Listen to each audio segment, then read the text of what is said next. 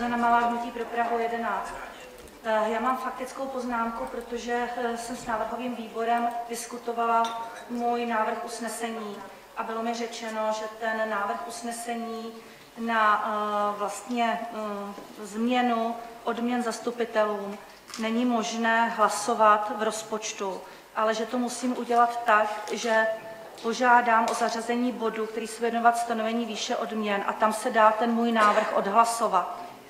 Takže já teď žádám, jestli bychom teď mohli eh, zařadit bod stanovení výše odměn, od, odměn poskytovaných neuvolněným členům zastupitelstva, v kterém bych tedy přečetla eh, eh, ty částky, bylo by to, to bez, bez té kumulace těch funkcí, aby se o tom dalo hlasovat a tím pádem, aby se potom dala snížit ta částka v rozpočtu.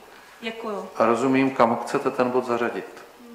Teď. I hned. To znamená, tam ale upozorňuji, že bychom pak měli možná přerušené dva body, protože 15.15 máme pevně zařazený bod a je 14.58, jestli jste si toho vědoma.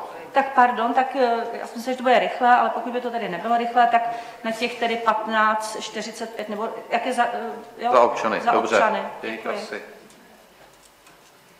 No, to bych skoro na 16. Tak na 16. Děkuji.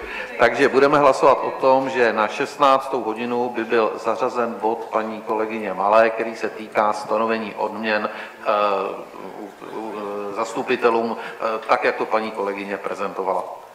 Děkuji, prosím o procedurální hlasování.